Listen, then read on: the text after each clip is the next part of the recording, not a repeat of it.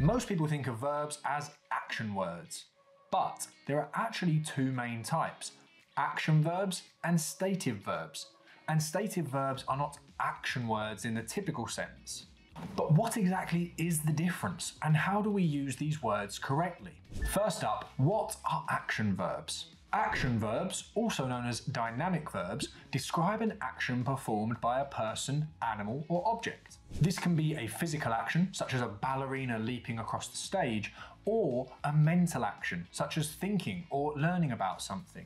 These are action verbs because they describe an action or process. They also have a duration, meaning they take place over a period of time and have a starting and an ending point. Verbs like these can be used in the continuous tenses.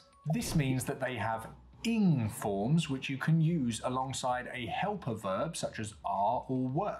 For instance, we could change leap into are leaping for the continuous present tense, or we could change learned into were learning for the continuous past tense. This isn't something you can do with stative verbs, so it can be a helpful way for you to tell them apart.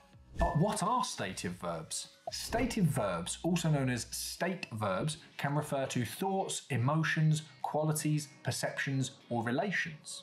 They all describe a state of being or how something is.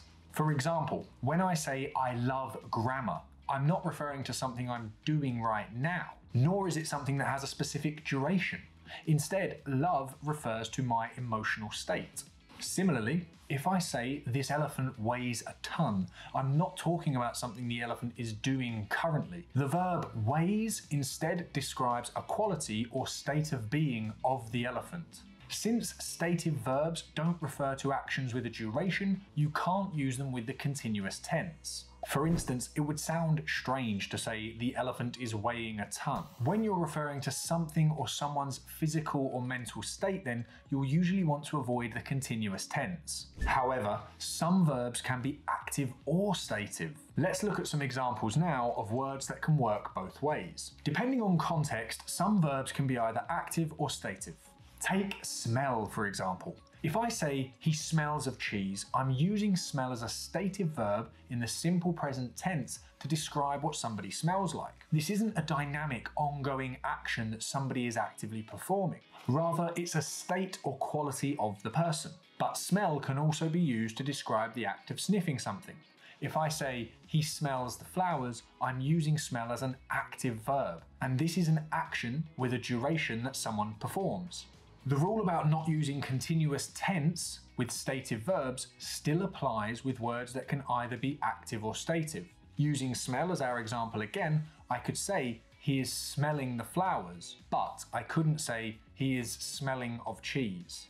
The key difference is between a state of being and an action someone is performing. And there you go. If you followed the video, you should now have a clearer understanding of the difference between active and stative verbs. If you do have any specific questions though, let me know in the comments. And don't forget to subscribe to the channel for more weekly tips. Your writing, Proofed.